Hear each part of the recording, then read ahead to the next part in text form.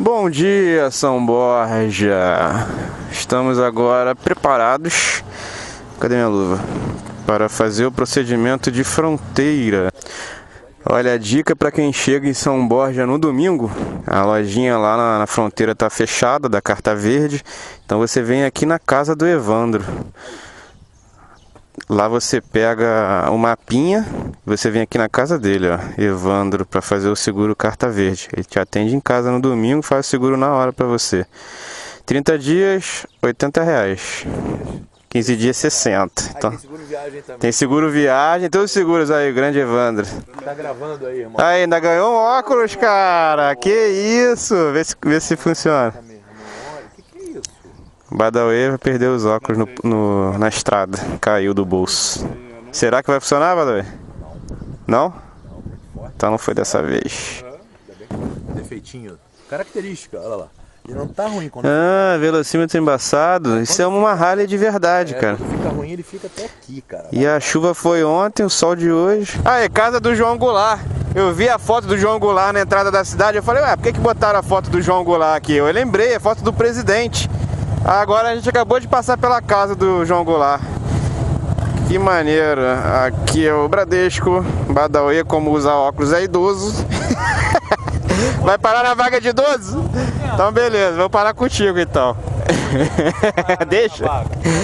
Vamos sacar um dinheirinho aqui no Bradesco, porque o câmbio tá melhor, é real peso lá na fronteira. Lá na entrada tinha foto de dois presidentes, eu só, só reconheci o João Goulart, mas tinha do Getúlio também. Getúlio nasceu aqui em São, São Borja. Lançou dois presidentes do Brasil, a cidade. Valeu São Borja. Agora carta verde e dinheiro sacado. Vamos pegar a point.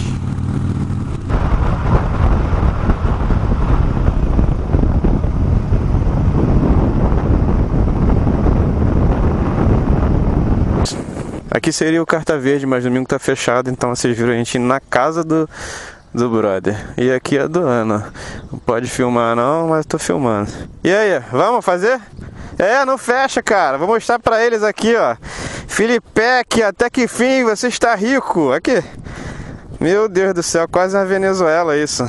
Mas olha, ele falou assim, quando chegar no posto de gasolina tu vai dar metade. Eu ainda botei aqui um pouco. Porque tá 50 pesos o litro. Como assim, cara? Era 5 pesos o litro. A da última vez que eu vim tava 11. Eu falei, nossa, inflação 100%. Agora inflação 1000% desde 2013. Desesperado. Cara, Argentina, meu Deus. Vamos ver, vamos entrar lá pra poder dizer melhor Eles isso. jogaram os dois jogos na Sul-Americana. Agora, em- oficialmente em solo argentino. Badawi sem os óculos, tá chegando porra nenhuma. Tem um pedágio ali, cara, ó. Pedágio. 500 metros o primeiro pedágio. 10 reais. Não, 10 pesos, mano. Tudo bem? 10 pesos ou 10 reais? 10 reais é um centro. Nossa, 10 reais. Vamos virar à esquerda na Ruta 14. É uma rodovia que vai nos levar até Buenos Aires. 800 quilômetros em direção sul, até a capital federal da Argentina. Nós entramos por São Borja, porque de São Borja até Uruguaiana a estrada estava em péssima condição. Foi o que nos avisaram, né? A galera do posto de gasolina, do hotel. Então decidimos já entrar na Argentina e fazer esse trecho ó, pela Ruta 14, que o asfalto é muito bom, apesar de terem algumas carretas a 80 km por hora. O asfalto é muito bom, você consegue andar 120. Obviamente com todo cuidado, porque se você avistar ó, a polícia camineira, pode dar problema. Principalmente ultrapassar em faixa contínua. Simbora, ultrapassar umas carretas. Rodamos nem 10 km, primeira policia camineira. Não tem ninguém aí pra parar a gente. O exército tá ali, parará, posto de controle. Simbora. Quando eles estão na pista, ah, quase 10 de 10 eles param motociclistas. Uma barreira policial ali em frente à cidade de, de Aperu. Ou Iaperu, Iapeju, alguma coisa assim. Essa cidade ela é a cidade natal de São Martín, que é o libertador argentino da América Espanhola. Quê? Uma placa de 20 km Vamos abastecer lá em Passo de los Libres. por hora. 20 por hora, 60 por hora vai passar em pontes. Não sei, acho que os engenheiros argentinos têm medo da- da- das pontes. Tem que passar bem devagarinho.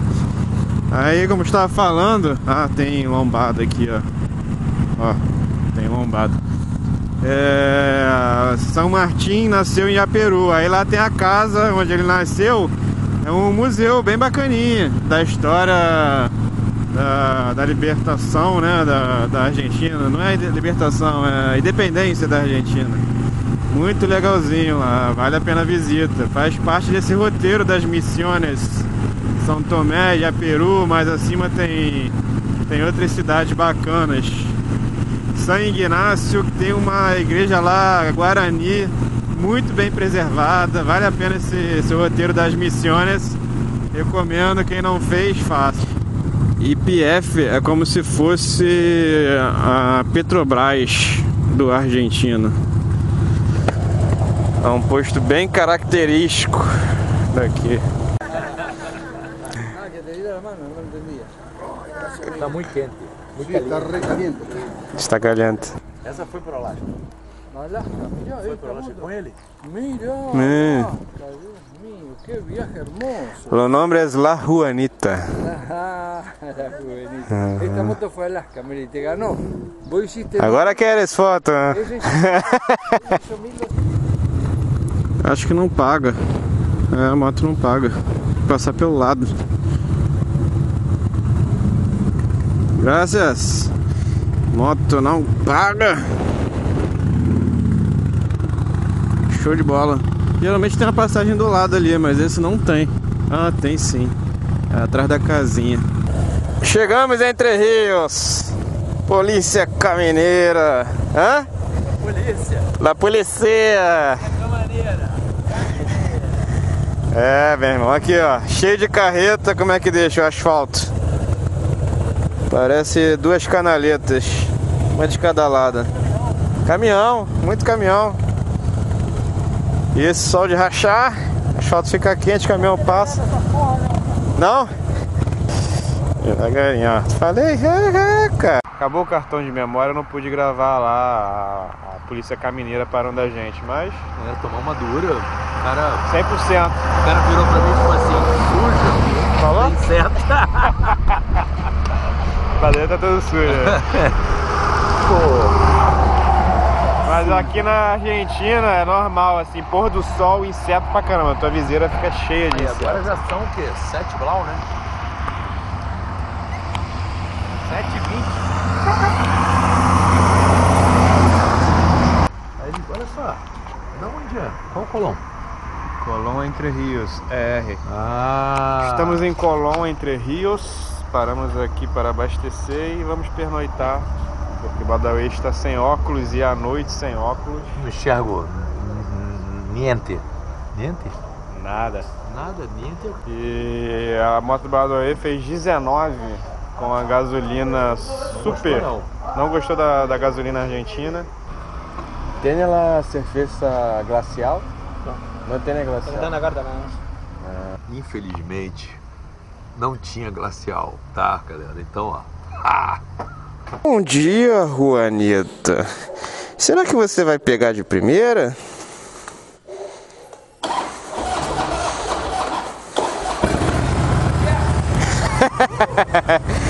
Juanita está girando, não está pegando. Ontem eu botei, eu subi essa rampinha aqui empurrando a moto. Juanita, você foi empurrada. Porque você não pegava. Mais um posto de controle da Gendarmeria Nacional.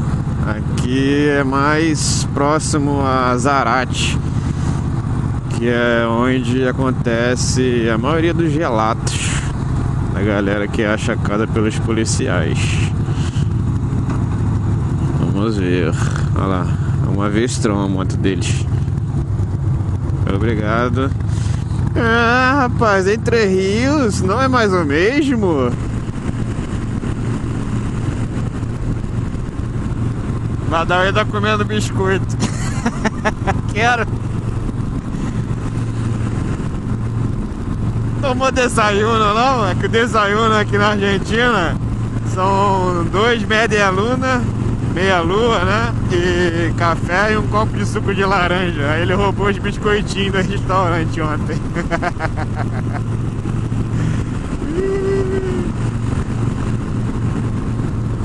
Obrigado, valeu.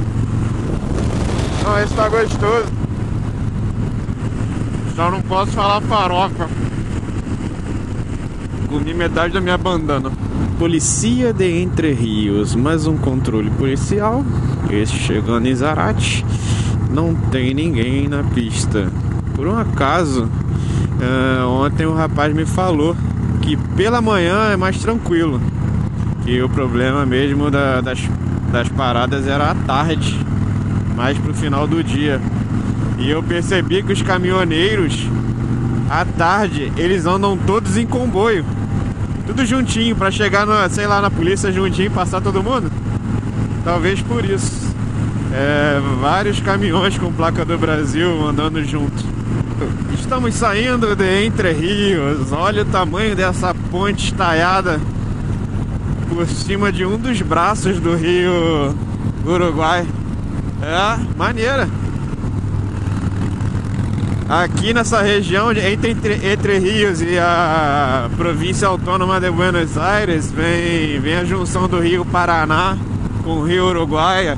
O Rio Uruguai aqui, Paraná aqui, eu sei lá. É, Rio Paraná, tá aqui, ó. Rio Paraná Guaçu, que é o rio que vem lá de Foz do Iguaçu. Rio Paraná aqui, encontra com o Rio Uruguai lá embaixo, faz o Mar del Plata. Olha que ponte maneira estaiada. E aí a gente sai lá da província ó, de Entre Rios e entra na província de Buenos Aires. Entrando em Buenos Aires agora. Show de bola. E o tempo mudou, ontem tava sol, hoje já tá frio. Tô sentindo até um pouco de frio na mão. De repente eu coloco a segunda pele hoje ou amanhã. Uh, Rio Paraná de Las Palmas. É um, eles, eles dão um nome diferente, mas é um braço do Rio Paraná. Aí, mais uma ponte estaiada. Tá vendo? Foi falar mal dos engenheiros argentinos.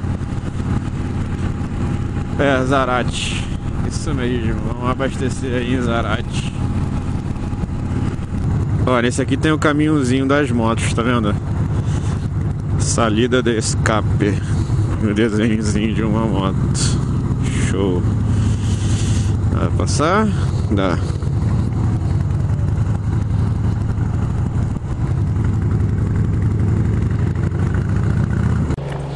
Aqui tá mais barato.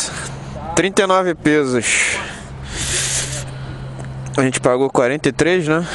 Lá entre Rios. Ah, que legal. Perdi o parafuso da pinça do freio traseiro. Aqui. Fui frear, fui frear agora pra parar, falei, ih, caraca. Tava meio que sem freio. É, vou, vou ter que arrumar esse parafuso. Senti agora, parando aqui no posto. Vamos abastecer e banheiro.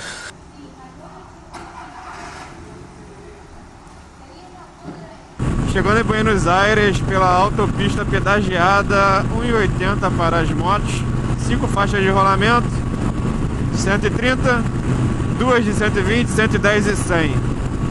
Tem alguns pardais.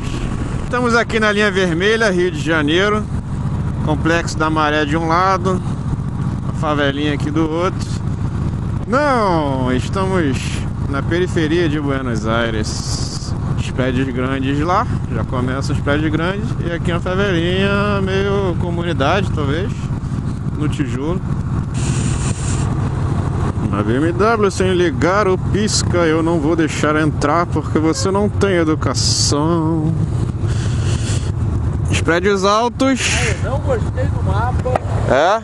Ele não mostra as ruas. Aí, Tamagotchi morreu, mas a gente tá com o perdidoche. É, vamos reconfigurar ele. Pô, perdidoche tá bravo, cara. Mas aqui tudo é curtição, a gente não conhece nada mesmo. É, Tucumã, hotel é. É Tucumã aqui? Vamos na 9 de julho, sei lá, vamos dar uma volta aí. Ó, desligou um cilindro, ó. Ó, aqui, ó. Ó, apagou um cilindro. Como é que ela fica acelerada? Aqui, ó, a bolsa, ó. Quando tá calor, ela, ele desliga o cilindro. Ah, Juanita eu desabilitei isso quando eu configurei a SM. A Juanita tá bem quente também. Tem uma, um corredorzinho, vamos? Vamos, mete aí, pô.